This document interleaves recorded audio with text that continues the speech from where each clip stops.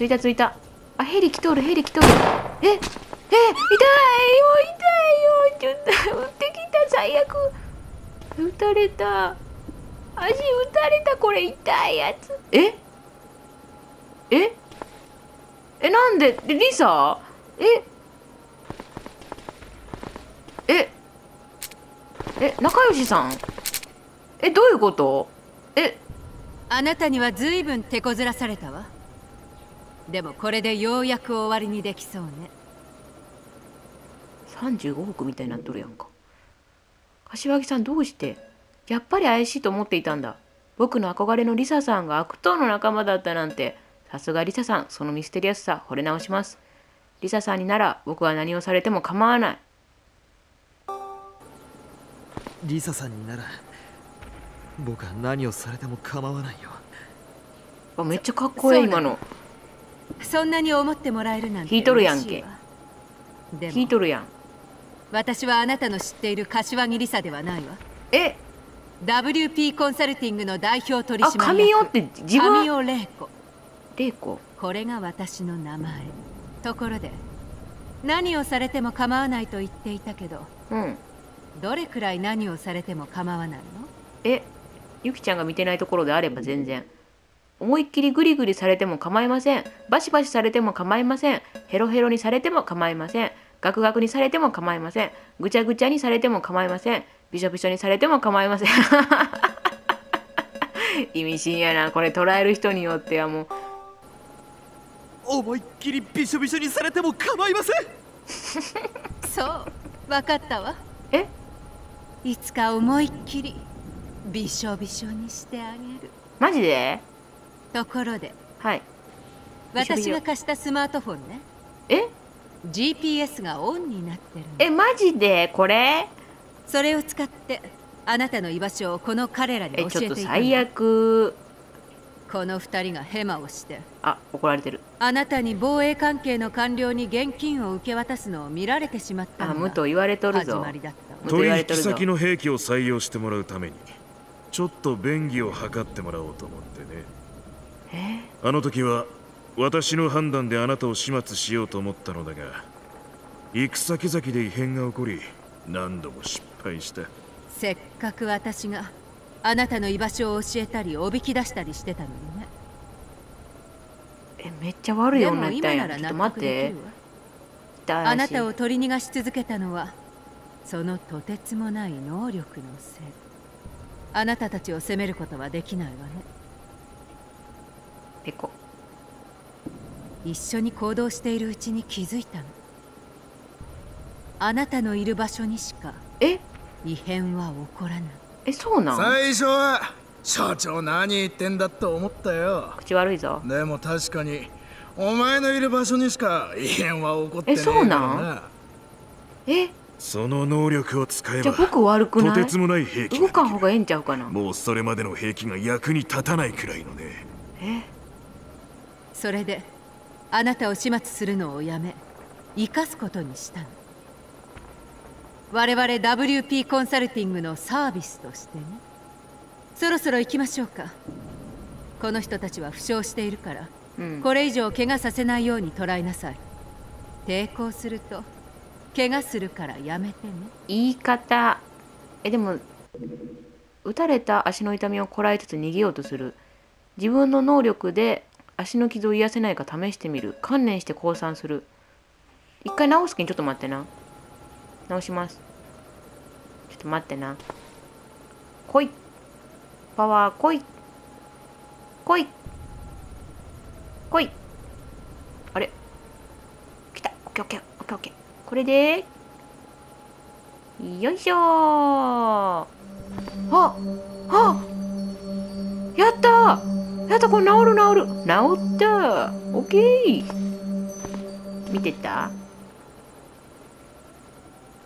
すごいやろ。さすがね。せやろ。やけんって売っていい話ではないんやで。やけんっていくらでも売って OK やなって話ではないけんやめてください。やっぱ。えめっちゃスローモーションになってるどういうことゆきちゃんゆきちゃん大塚はいいとりあえずゆきちゃんゆきちゃんゆきちゃんいったえ。でもゆきちゃんに弾当たるんはちょっとえ。やめてよ。ちょっとゆきちゃん大丈夫？ええええ武藤え？武藤が。待ってちょっと待って待って待って。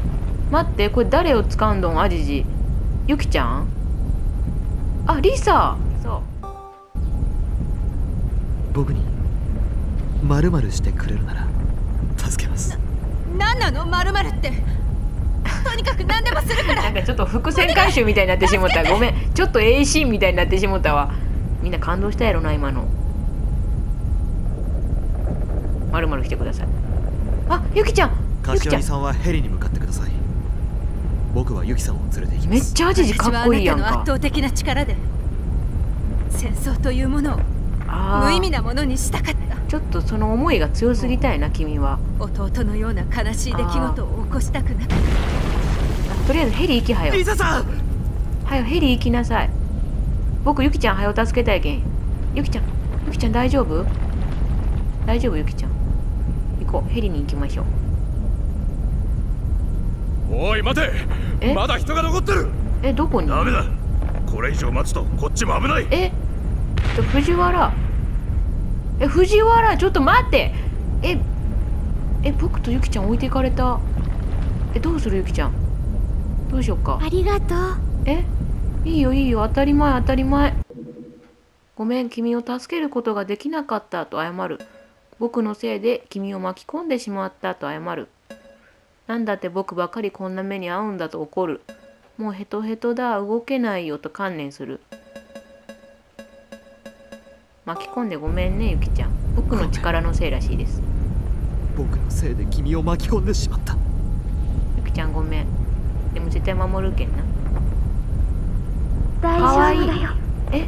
かわい？いえ何それ？かわいい。え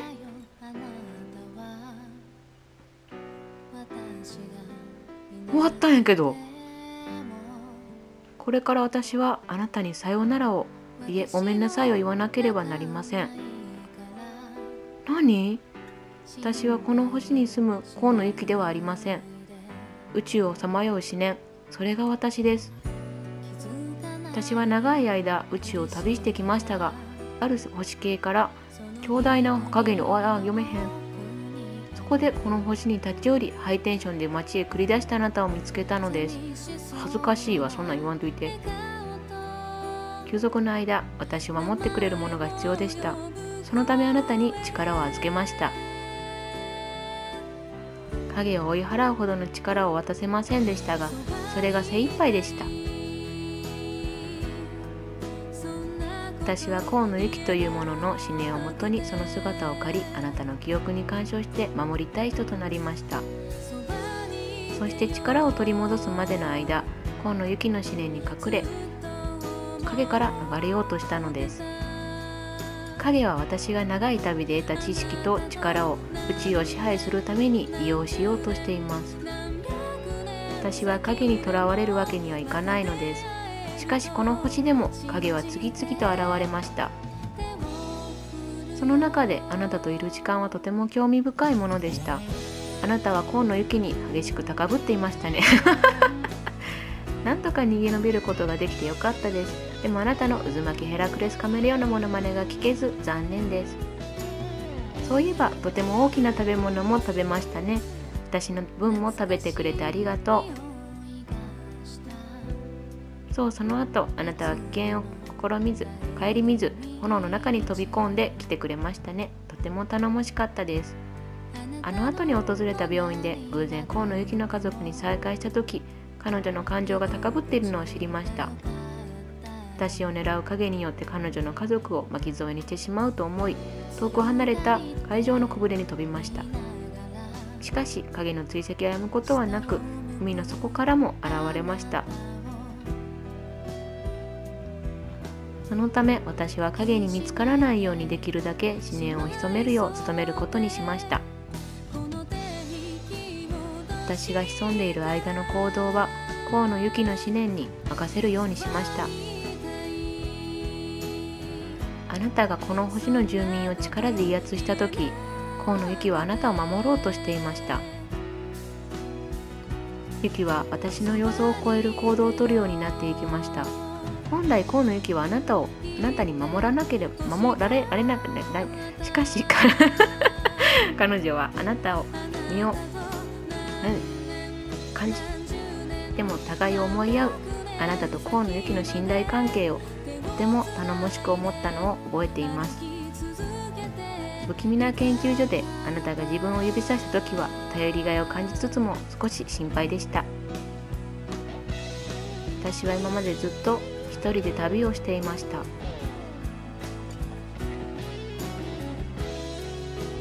その中でもこの星での旅はとても興味深いものでした。あ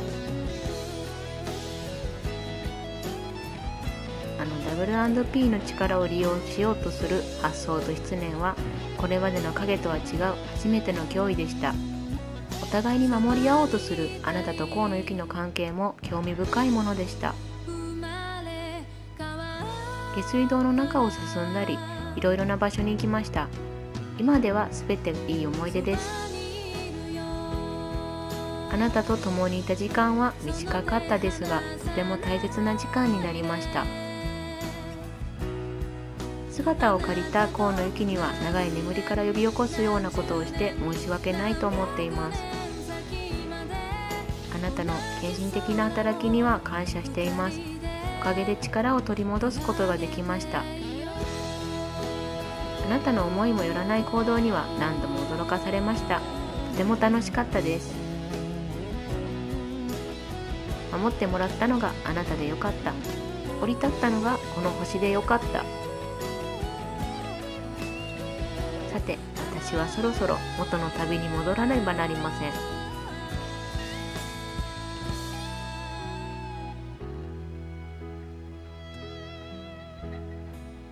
ゆきちゃん。ゆきちゃん。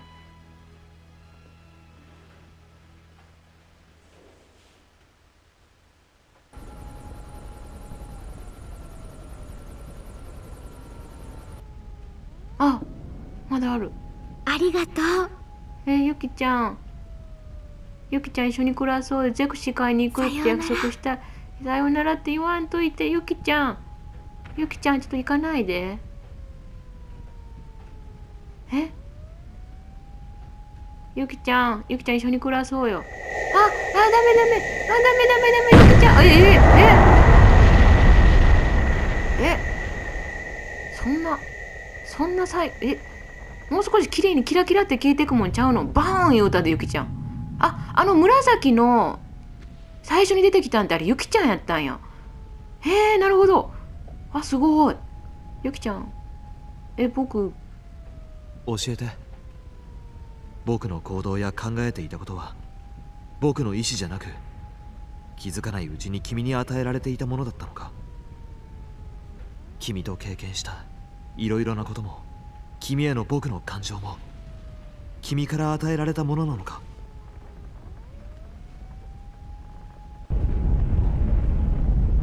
ユキさんは答えてくれなかった。違うよ。君のは全部アジジの意思ですよ。ちゃんとゆきちゃんのこと好きになったんはあなたの意思。いや僕は自分の意思で行動しゆきさんへの感情を抱いたんだ。自分の意思だったかどうかはどうでもいい。今はそんなこと考えている場合じゃないな。これはもうアジジはゆきちゃんがどうとかじゃなくってアジジがゆきちゃんをちゃんと好きになれたんやで。どうするアジジ？アジジどうする？逃げれる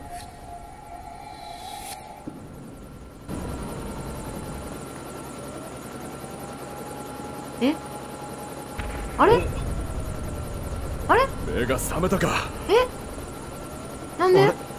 ユキさんは？ユキ？え？誰だそりゃ？えみんなゆきちゃん覚えてない？ユキって知ってるいや誰だ？私も知らないわかああ知らないな。そうだ。え？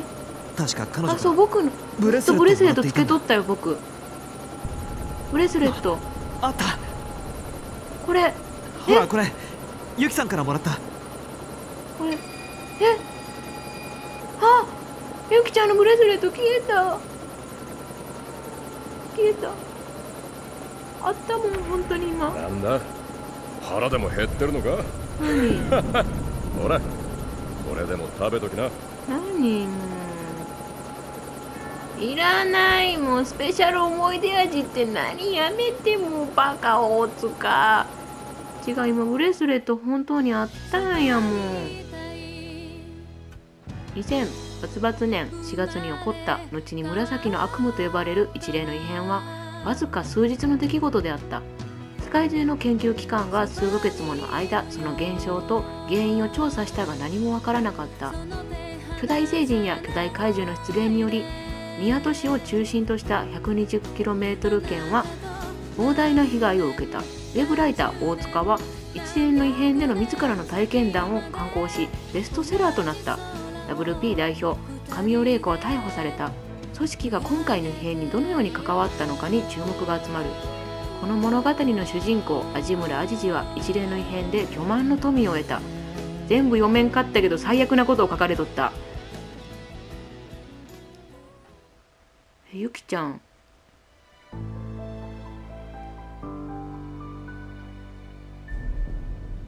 へえステージ17競泳に沈む都市終わりでございます。はい競泳都市完結しました。お疲れ様でした。この作品ねやるたびにどんどん主人公が大好きになっていきましたね。面白くもありかっこよくもありクズでもありながら。絶対にゆきちゃんを守ってくれるっていう素敵な主人公でしたね。それでは見ていただいた視聴者の皆さん制作者様本当にありがとうございました。次回作もよろしくお願いします。はじむらでした。